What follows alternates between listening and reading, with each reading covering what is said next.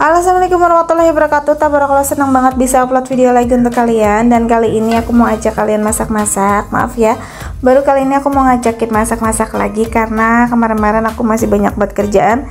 Uh, Kerjaan yang gak beres-beres ya setelah pulang kampung gitu. Kayaknya apalagi dengan urusan cucian kayak gitu tuh gak kelar-kelar. Belum ditambah emang aku kan pulangnya kan mepetin untuk anak sekolah masuk ya jadi ya kayak gitu gitu. Kemarin sih sebenarnya uh, masak. Cuma masaknya yang kayak ringan-ringan aja. Kayak dadar telur masak mie kadang ya beli kayak gitu. Jadi sekarang ini baru masak lagi nih.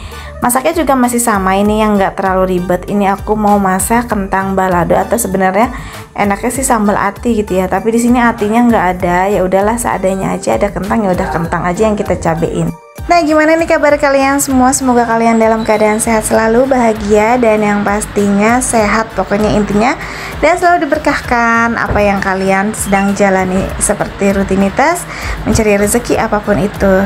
Pokoknya doa-doa Kalian itu yang bikin motivasi aku. Aku juga mendoakan kalian Semoga kalian juga uh, Semangat untuk eh, hari-hari uh, yang kalian jalanin. Amin ya aku kalau ngomong suka mikir gitu. Kadang suka bingung mau dubbing apa mau ngomongin apa. Karena kadang aku kalau misalkan lagi ngedit video itu harus uh, pas dubbingnya itu bisa sampai dua video atau tiga video gitu ya. Jadi bingung mau yang diomongin apa lagi gitu. Nah ini balik lagi aja ke masakan biar nggak pusing-pusing untuk dubbingnya. Tapi bukan untuk resepnya ya. Tapi ini ya semacam ya udahlah ini keseharian aku seperti ini. Jadi kalian tinggal ambil sisi positifnya aja buang sisi negatifnya. Nah untuk lauknya ini aku bikin uh, apa ini bakwan aja. Karena kebetulan ini sayuran ada di kulkas ada engkol sama wortel. Ini juga kentang sebenarnya kentang kemarin aku beli jadi ini tuh kayak ngedadak aja gitu hmm, bingung gitu ya mau masak apa. Tukang sayuran nggak pernah ada yang lewat depan rumah jadi aku harus mencari. Sedangkan aku tuh hari ini kayaknya pagi-pagi males banget untuk ke mana-mana. Ya udahlah yang ada di rumah ya udah kita masak aja ya. Contohnya seperti ini. Ini sebenarnya bahan tiga bahan ini kentang wortel engkol itu sayuran terakhir stok di kulkas. Karena memang ya aku nggak sembako juga ya nggak food prep juga kadang-kadang ini belanja harian. Tapi sebenarnya belanjanya itu paling aku biasanya suka buat dua hari kayak gitu. Dan kebetulan ini hari yang terakhir gitu. Jadi stokan habis. Nanti kalau emang mau aku bakalan beli lagi kalau emang aku mood keluar dan hari ini masaknya uh, goreng kentang atau sambal kentang dan bakwan ya. Untuk bakwannya aku cuma pakai dua macam aja engkol sama wortel lebih enak sih dikasih daun bawang seledri kayak gitu ya. Pokoknya toge itu tuh lebih enak lagi lebih komplit tapi di sini seadanya aja. Nah aku langsung masak dua tungku aja karena ini udah jam setengah delapan mau jam 8 dan nanti dikit lagi suami aku tuh bakalan siap-siap untuk ke bengkel ya. Jadi aku pengennya ini menu yang aku masak semuanya tuh langsung dibawa sama suami aku. Karena kenapa? Karena motornya cuma ada satu. Jadi motor suami aku yang CB itu rusak. Jadi ya udah aku gober masaknya biar cepet. Jadi nanti pas begitu dia siap-siap berangkat dia juga udah bisa sarapan dan langsung dibawa jadi motornya langsung dibawa sama suami aku. Dan aku insya Allah tuh nggak ke mana-mana. Paling kalau memang mau ke mana-mana ya paling nanti bareng sama si teteh gitu ya uh, pakai motor dia. Uh, jadi suami yang fokus untuk bawa motornya ya gitu ya agak ribet gitu ya.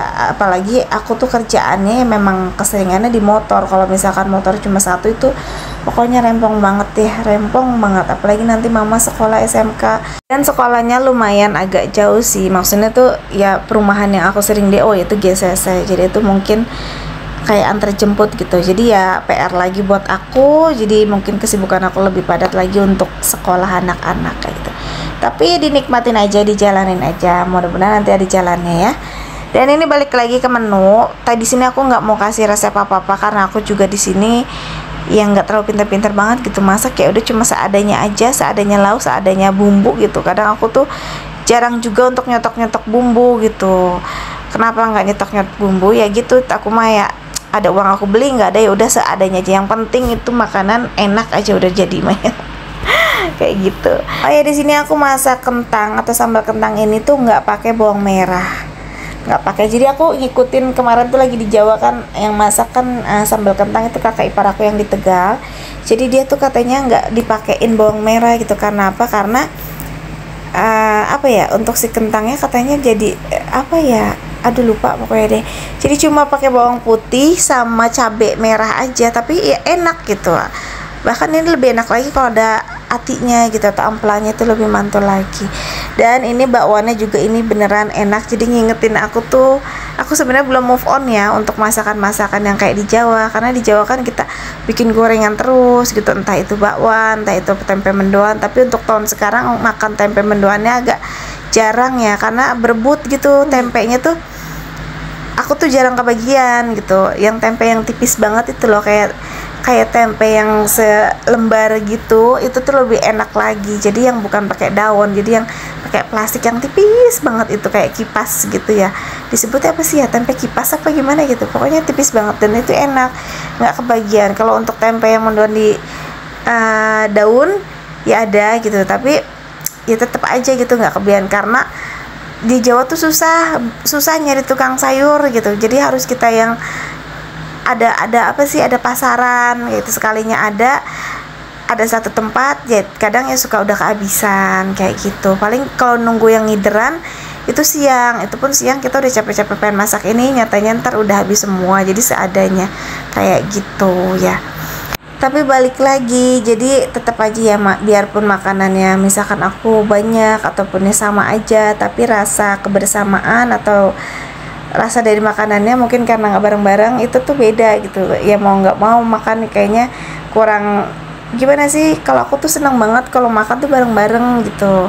Kayak misalkan aku kadang suka sejak banget lapar gitu ya udah bawa lauk gitu makannya ke rumah emak gitu kan ke rumah teteh atau ke rumah Alisa. Pokoknya pengennya bareng-bareng aja untuk makan. Karena karena karena jadinya makannya enak gitu. Kalau misalkan kenapa nggak bareng suami? Suami tuh pagi-pagi ya udah ada di tempat kerjaan ya. Kalau misalkan aku memang kebetulan aku yang anter makan siangnya ya udah berarti aku makannya di sana. Tapi itu jarang juga ya. Kadang tuh uh, akunya yang udah kelewat makan apalagi kalau misalnya udah sibuk tuh ya udah paling ya cuma cuma cemil kayak gitu aja. Tapi sih jujurnya aku tuh orangnya doyan makan jadi tuh nggak bisa yang namanya mulut tuh diem.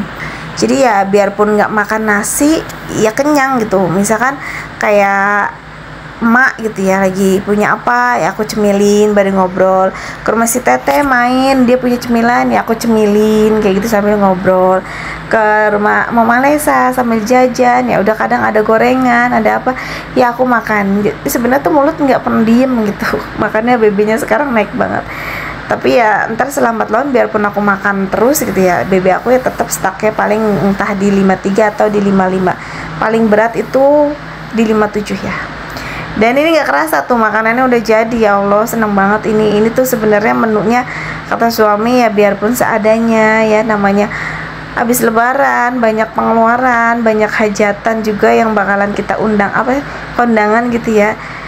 Dan tadinya tuh ternyata aku nggak masak karena aku bingung nggak ada sayuran. Tapi tiba-tiba suami ngelihat loh ini udah jadi sih masakan katanya nggak masak nggak ada sayur tapi seperti itulah ya ilmunya perempuan. Jadi apa aja tangannya kalau emang ada bahan apa ya udah sat sat jadinya menu makanan kayak gitu.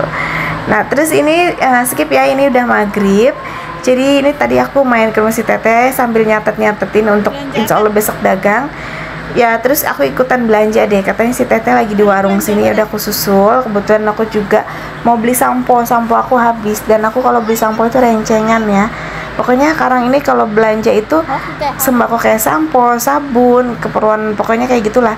Ya kalau habis ya beli gitu. Tapi jangan sampai nunggu habis banget. Jadi aku udah stok ini. Misalnya sampo tinggal setengah renceng lagi aku udah beli lagi. Biasanya sih aku beli langsung dua renceng tapi kali ini satu renceng aja ya. Karena masih ada di rumah sih untuk setengah rencengnya. Dan aku nggak belanja apa, apa lagi. Jadi cuma butuhnya ini ya udah ini aja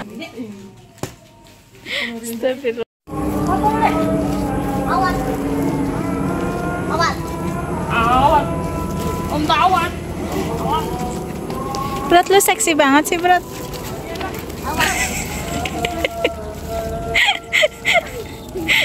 Nah ini tuh udah maghrib jadi setelah uh, tadi belanja aku tuh langsung ke rumah si teteh jadi ya main sambil sholat maghrib kayak gitu ya. Kalau apalagi kalau besok ya aku mau dagang itu tuh aku main misalkan sebelum maghrib sampai malam gitu sampai jam setengah sembilan jam sembilan itu baru pulang. Jadi tuh kayak sholat maghrib kadang sholat isya itu di rumahnya dia.